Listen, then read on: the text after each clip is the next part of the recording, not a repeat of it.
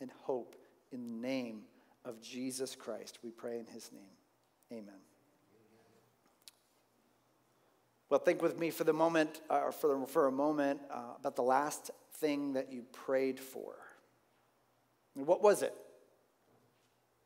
And more to the point, after this morning, I hope you'll see, is it a bold prayer or was it a, a basic prayer? You know, the basic prayers, like, you know, God be with me today, God help me, God get this slow driver out of my face, whatever the case may be, right?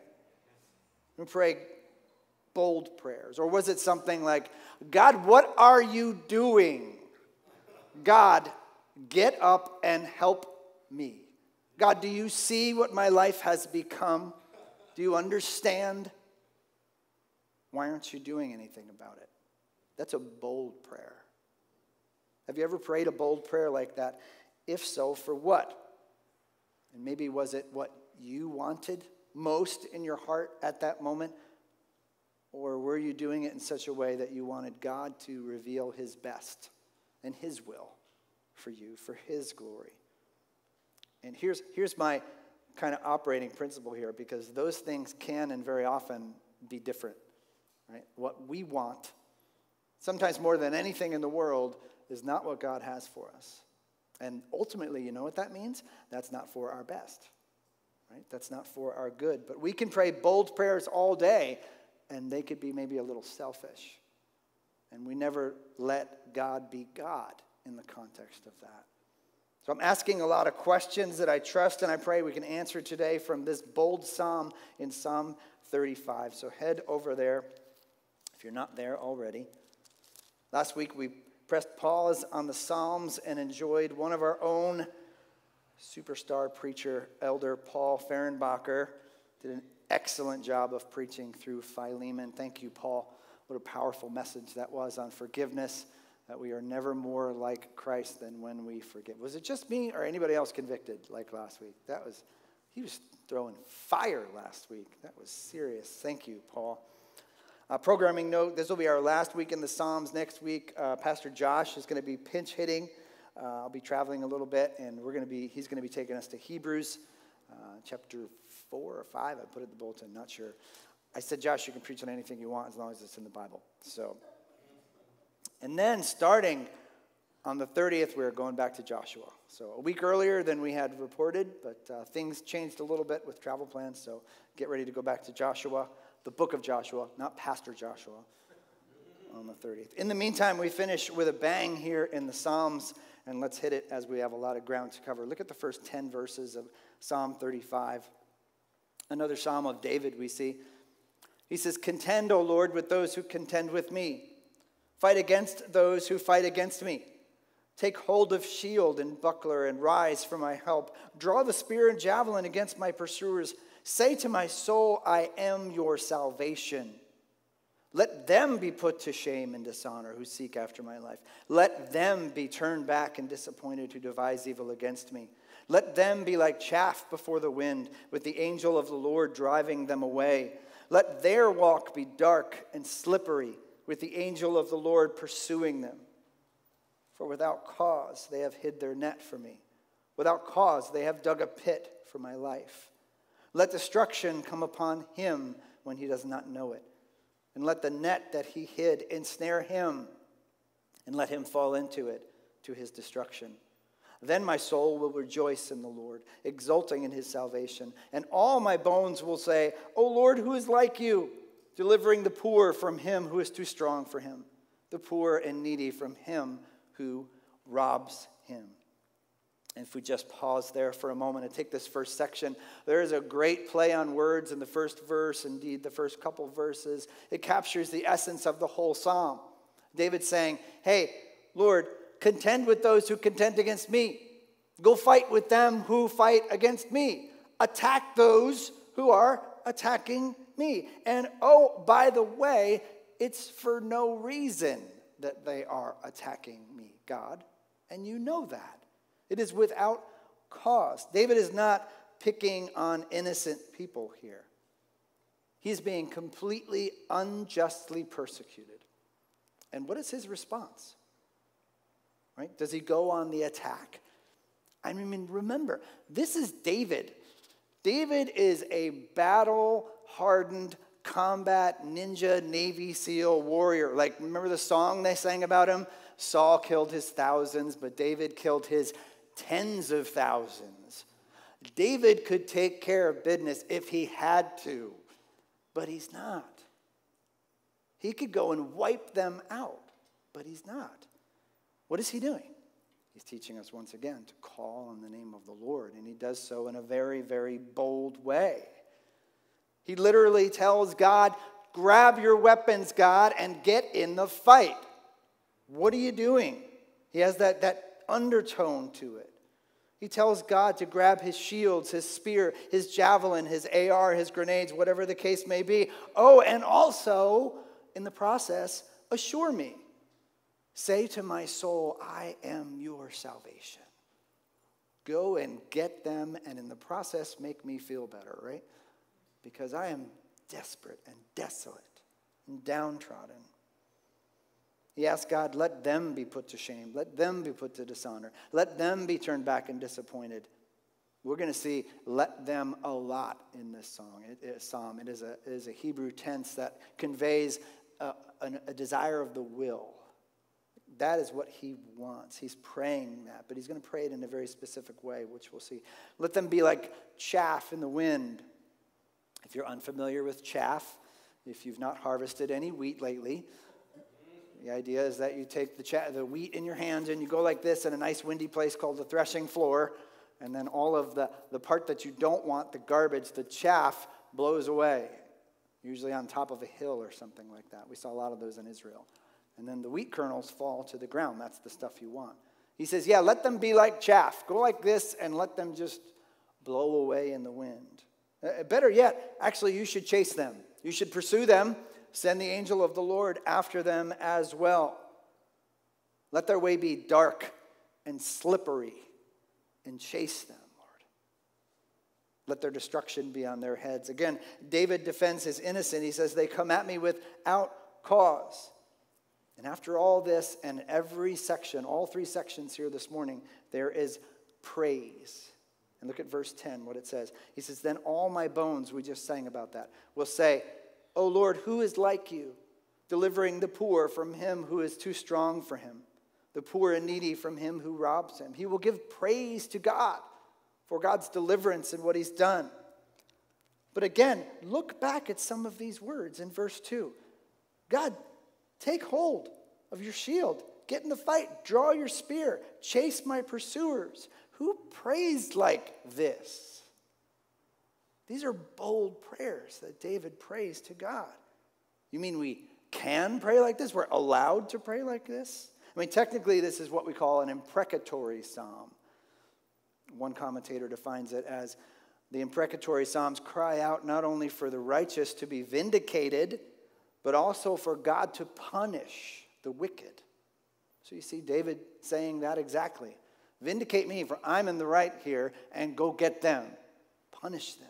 Punish the wicked. That's an imprecatory psalm. And that's kind of the point. David is calling on who to act? God, not himself. He's calling on God to act. What David really is interested in here is God's justice, not his agenda. And let's say it that way that bold prayers seek God's justice, not our agenda. Bold prayers seek God's justice, not our agenda. If David was going to run off in his agenda, he just would have run off and cut their heads off, right? David does that sort of thing. Not now, not here. He's teaching us something. And when we come and talk about justice, we can feel some of that, can't we? I mean, it's, it's not fair what's happening to David. We feel that not fairness. Any of your kids ever say that? It's not fair, right? You feel that from the time that you are a little kid. We all feel injustice or perceived injustice. Right now, might not be true. It was sometimes really hard to keep a straight face when young Mikey and Morgan were trying to convince us that it wasn't fair. It's like, okay, let's talk about fair. We're not going to do that. Right? We all feel this injustice. It's part of the divine stamp on our souls that God the Creator has placed the imago Dei, the image of God, in our hearts. That when we see something that is anti God, like injustice or sin, we feel it. And we're outraged at that. We're supposed to feel that way because it's God inside of us, right? But like David, we need to go to God with that, not just take matters into our own hands. Two reasons why. First, I know this might be hard to think about, but we might be wrong. We might be wrong. Things that we think are unjust really might not be unjust. We might just be really hurt, or we might be really involved. And especially as we look at this age in the internet, shocker, not everything you read or see on the internet is true. Right? Sometimes we get all fired up about a video that we saw that if you saw the whole context of the video, right? Or an article that was posted, right? We need to remember that before we go riding off into battle. Sometimes we might be duped into someone else's agenda and we don't even know it. We need to be people of knowledge and truth. We have to resist the urge for the hot take. You know what the hot take is? When you see something and you respond. When somebody says something to you right away and you give it back to them right away. Don't do that. We need to think about things. We need to process things from a biblical perspective about God's justice, right? We might be wrong. But second, that doesn't mean we're not called to act sometimes. Sometimes we are called to act. Just because the model that David is giving us here of going to God doesn't mean that we never speak out against sin or we never speak out against injustice. There are times when we are called to act. There are times when we're called to speak up, defend those who are being oppressed, support the persecuted church, call sin what it is sin. Speak out against racism or abuse or abortion. We work to prevent those things, we work against those things. We have to be able to talk about some of these sensitive issues too, from a biblical perspective. And above all, keep in mind that we are looking, like David, for God's justice, not our own agenda. And let's just admit something else while we're on the topic. There is no human being on the face of this earth that has all the answers, right? It can't be. We're all sinners, saved by grace. That's where we've got to throw ourselves on the wisdom and the mercy of God, just like David is doing here. This requires tremendous discernment, of course, to know how to act, what to say, how to react. And after searching our hearts, we see what is really there. Sometimes we find some ugly things, right? If we resist that, ever resist that hot take and then think about it for a second and then say, wow, it's a really good thing that I didn't say what I was going to say because it would have been embarrassing. Our own agenda, or the bigger, more glorious aspect of God's justice, God's glory, and what is actually right. And still, the main point remains we seek God's justice, not our own agenda. And along with that, we look at others with compassion, even in the midst of unjust persecution. And we, we learn that from David as well. Look at verse 11. Malicious witnesses rise up. They ask me of things I do not know. They repay, repay me evil for good. My soul is bereft. But when they were sick, I wore sackcloth. I afflicted myself with fasting. I prayed with head bowed in my chest. I went about as though I grieved for my friend or my brother, as one who laments his mother. I bowed down in the morning, in mourning. But at my stumbling, they rejoiced and gathered. They gathered together against me. Wretches whom I did not know tore at me without ceasing. Like profane mockers at a feast, they gnashed at me with their teeth. How long, O Lord, will you look on? Rescue me from their destruction, my precious life from the lions. I will thank you in the great congregation. In the mighty throng, I will praise you. So people are gossiping about David, and not just little piddly stuff.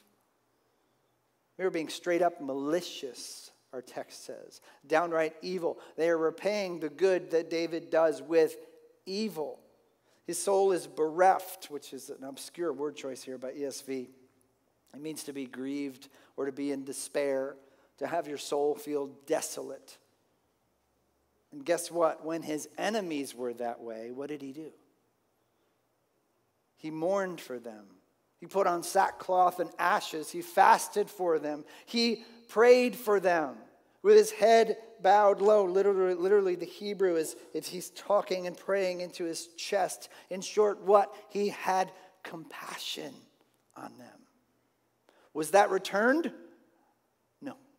That was returned as what? Evil for what he did. As Christians, we are called to be compassionate. The Apostle Paul puts it this way in Romans 12 15 among the marks of a true Christian rejoice with those who rejoice, and weep with those who weep. It doesn't say anything about whether or not it gets returned to you, does it? Because our obedience to God is not dependent on what someone else is doing, it's dependent on us obeying God. Do we dare withhold compassion on those who are truly hurting? The Bible knows no such believer who would do that. Do we show compassion because we think it will be returned to us? Is that what we see David doing here? No, not at all. But how is David being returned for his goodness? Again, evil. When he falls, when he has calamity, what do they do? Laugh. They post about it on Facebook. They gather around and point at him. They laugh at him. They mock him. What is David's response to this unjust persecution? Bold prayers. Do you see what he says in verse 17? How long, God? Literally, Hebrew is till what? How much more do you have to see? Because I know you see it. Why aren't you doing anything? Is what he is saying. Are you just going to sit there and watch? is what he's saying. What more has to happen before you get in the fight here and help me and rescue me? So put these pieces together, okay? David expresses compassion for others even when it's not returned, except for evil and persecution, right? How does that make you feel? How would that make David feel? How do you think David feels right now? Desperate might be a good word. His soul being desolate is a good word. Despondent, in despair, and he says, out of the cry of his heart, How long, God? What more do I have to go through? What do I have to do for you to help me? But yet, that came how? It started where? With a heart full of compassion. So, it's our second thing about bold prayers. Bold prayers are from a heart full of compassion. They're from a heart full of compassion. And keep in mind, again, David is completely and truly 100% innocent here. He does nothing to deserve this persecution. In fact, he's the only one who's doing actively doing good, right? He's the one showing compassion on his enemies. And Christians, we are, we are fe- feeling people. When we see injustice, when we see pain, when we see evil, when we see the effects of sin in this world, we feel that. It bothers us. It should. Again, that's the divine stamp on our soul. It should bother us. And like David, we're called to respond, but he responds in compassion, even if his good is returned for evil. And what is our recourse when we are wronged? Revenge! No, it's not revenge. It can't be revenge. Our recourse is to pray bold prayers from a heart that is still full of compassion. However, let's get one thing right. We are not David here. Just like the story in David and Goliath, okay? I don't, I'm sorry if I'm bursting your Sunday school bubble. We're not David there either. We're Israel cowering in the bushes, okay? Here we're not David either. Who are we? We are the malicious witnesses in verse 11. We are the wretches in verse 15. We are the profane mockers of verse 16. We are the ones who return the goodness of God with evil. If you're a Christian here today, we're the ones who have spurned God's goodness and grace because we too, at one time, rejected his legitimate, gracious compassion and his authority over our lives as our benevolent king. We were the ones who returned his compassion for evil. So before we go thinking we're too much like David, we're not. But God did what? God's David here, right? From a heart full of compassion, he did what?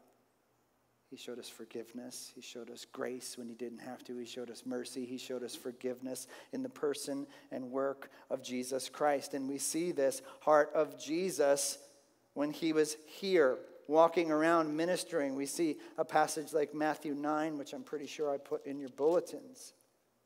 Jesus says this in Matthew 9 and Jesus went throughout all the cities and villages, teaching in their synagogues and proclaiming the gospel of the kingdom and healing every disease and every affliction. And when he saw the crowds watch this, he had compassion for them because they were harassed and helpless, like sheep without a shepherd.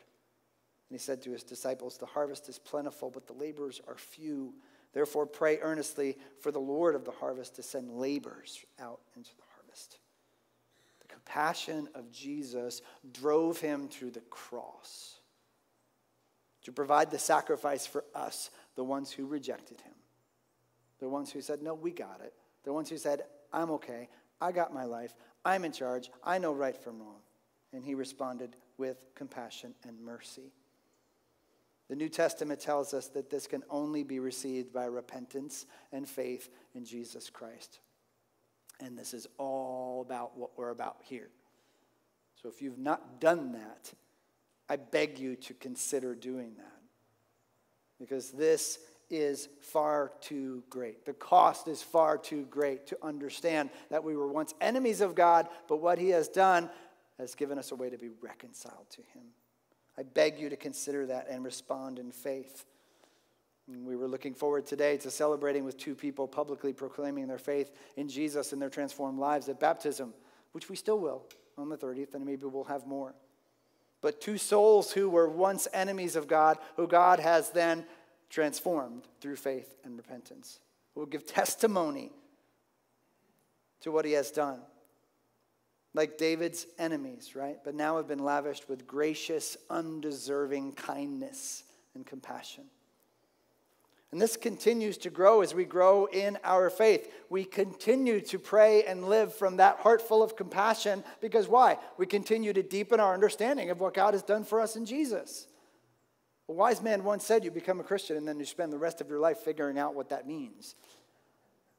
You understand deeper depths of the gospel and what the cross actually meant. And you walk it out. That sanctification as He grows us and changes us even in the midst of being unjustly persecuted, right? Even in the midst of a situation that you don't want to be in, right? He's still working. And when we see the gracious rescue of God, we respond in worship. And again, David does that in verse 18 here to close that section. I will thank you in the great congregation. In the mighty throng, I will praise you. When he gets to church, he's going to praise him because of what God has done. Yet, we're still permitted to cry out to God with bold prayers, but yet conforming our hearts to who He is. Look at verse 19. David says again, Let not those rejoice over me who are wrongfully my foes. Let not, let not those who wink the eye who hate me without cause. For they do not speak peace, but against those who are quiet in the land. They devise words of deceit. They open their mouths wide against me. They say, Aha! Our eyes have seen it. They've caught him. You have seen, O Lord. Be not silent. O Lord, be not far from me.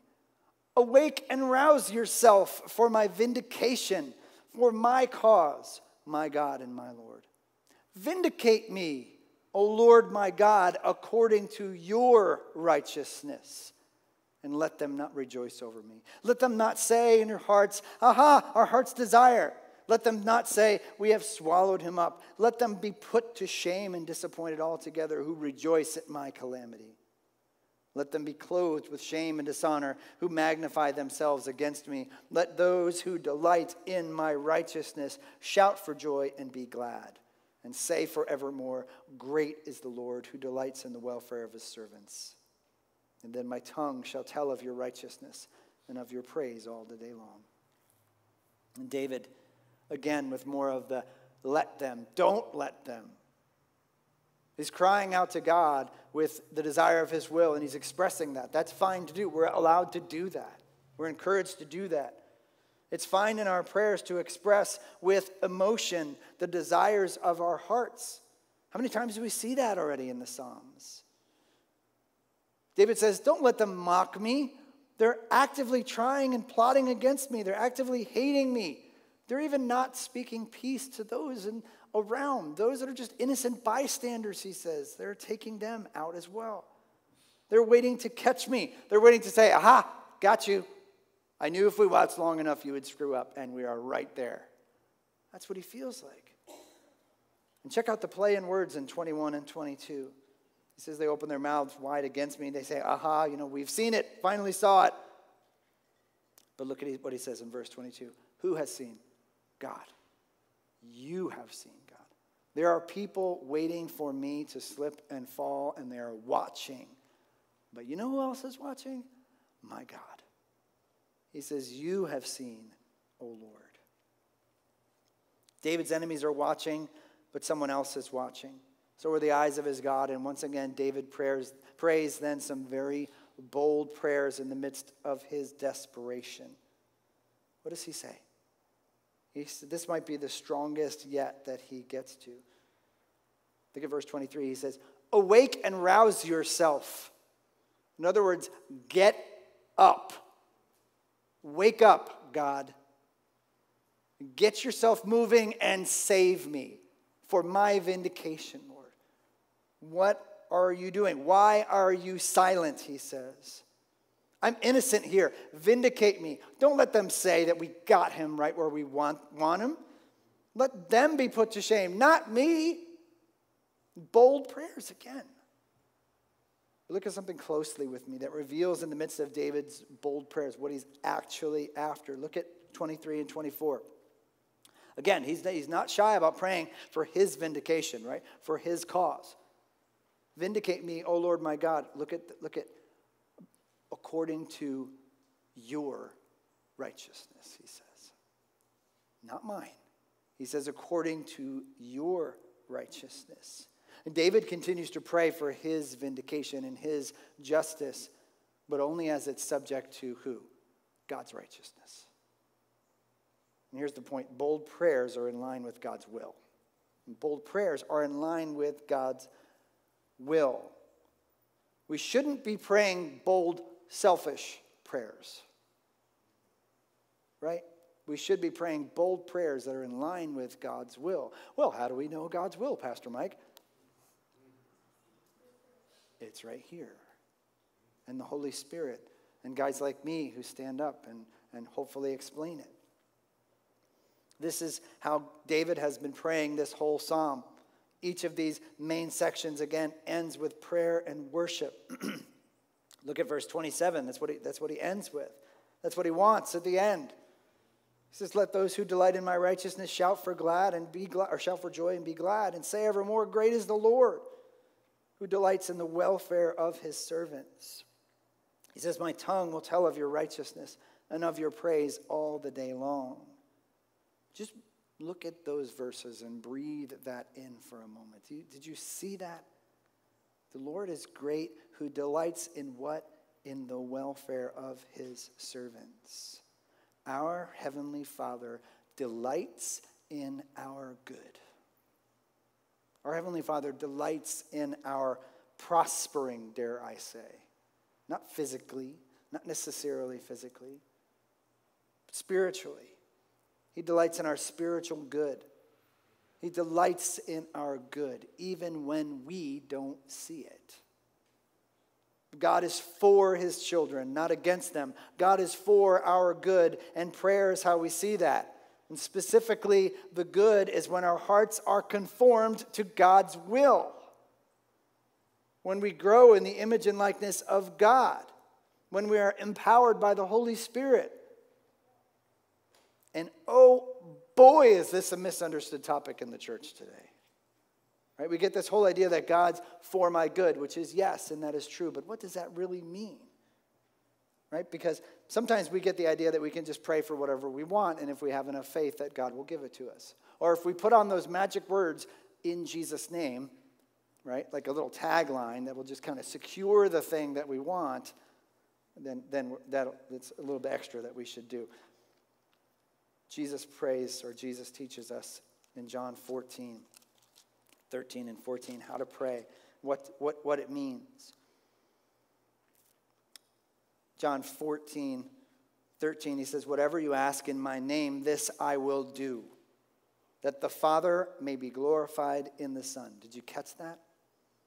What you ask for in my name, everybody goes, Cool. Goes to the Bible and says whatever they want, and then they tack on in Jesus' name. No, he says, So that what? The Father may be glorified in the Son.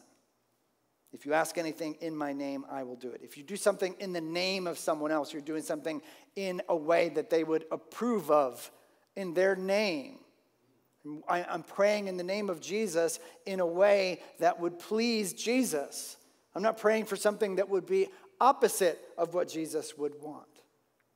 I'm praying for something that would bring glory to Him, that would bring glory to the Father.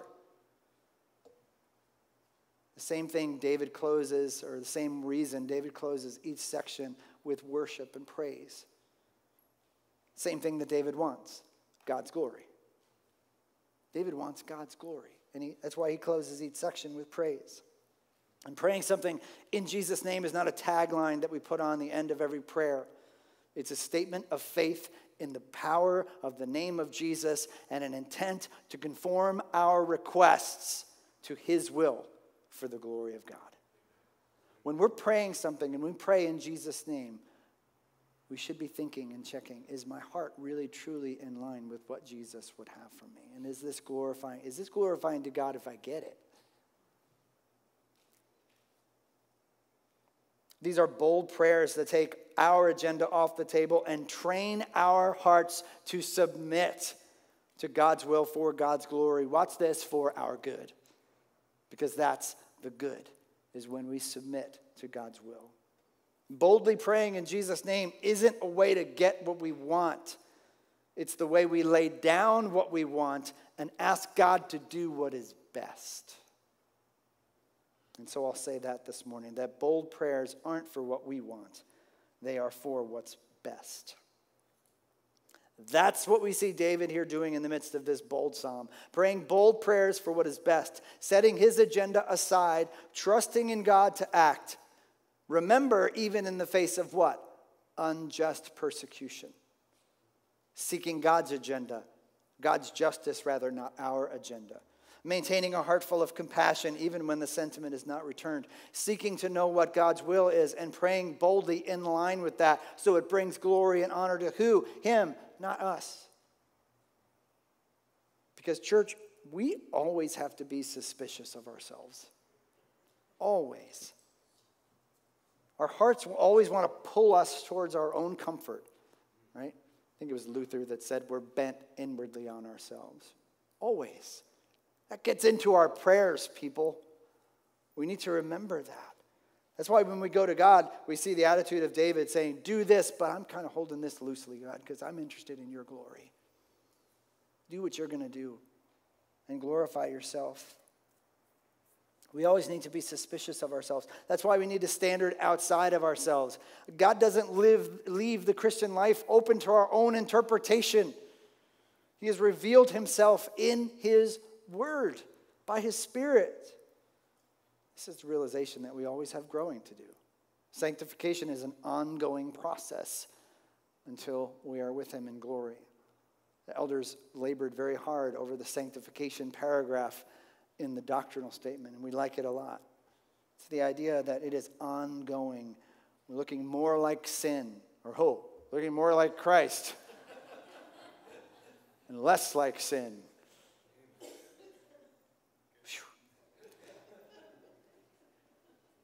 With that comes a realization that only God knows what is truly best for us. And we've got to trust Him with that, church. And sometimes the things we want, how we want situations to resolve, we think that our lives should look like this. And really, that's not the best. And the best is defined as what would be for God's glory. What would conform us more to God's will? We're like, yeah, but that's hard. I know. Happens to me too. I'm not immune to it. But it is what is best. We have to trust Him with that. God is the best for us, God has the best for us.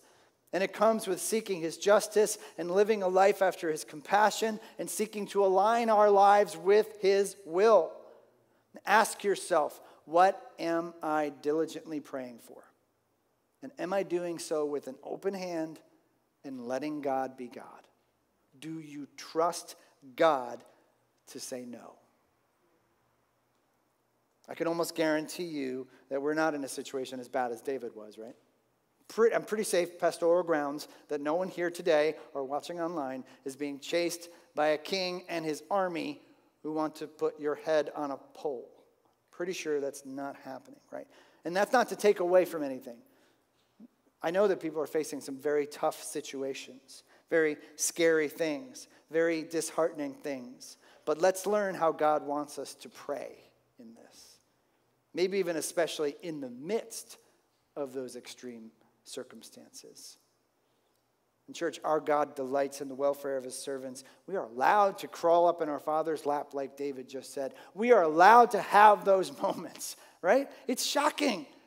Where he says, What are you doing? Why aren't you helping? Why aren't you answering? That's grace, right? He's not going to zap us into a smoking pile of dust if we do that. It's grace. He understands who we are. And God delights in the welfare of his servants. And we do so with that perspective that we have remaining sin, that we're not God and he is, and we trust him and we seek him. And bold prayers, then, as David teaches us, aren't for what we want, they, they're for what's best. Let's pray that God conforms our hearts to this. Let's pray that we can pray this way. Let's pray that God is glorified in the midst of it. Father, we thank you so much for your word, for your grace as we are weak human beings, Lord, as we see things around us that we want to respond to that we think should be differently or different, and as we, within our own hearts, our own situations, we want desperately sometimes things that you're not bringing. Or maybe what you are bringing, we want you to take it away. Lord, we pray that you will conform our hearts to your will, that we would want supremely to glorify you and to be conformed to your image, and that we could stand in praise and glory of who you are, even in those times when you say no, because we trust you and you are good. Help us, God. These are hard things, these are difficult things. Be glorified as we seek to live lives more conformed to you. We pray in Jesus' name. Amen. Let's stand together and sing about God's mercy as we respond to his word.